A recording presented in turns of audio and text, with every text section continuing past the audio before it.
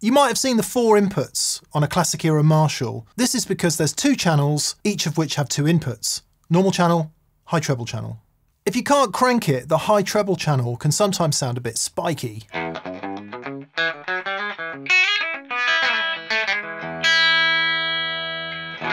But the normal channel can sound too dull.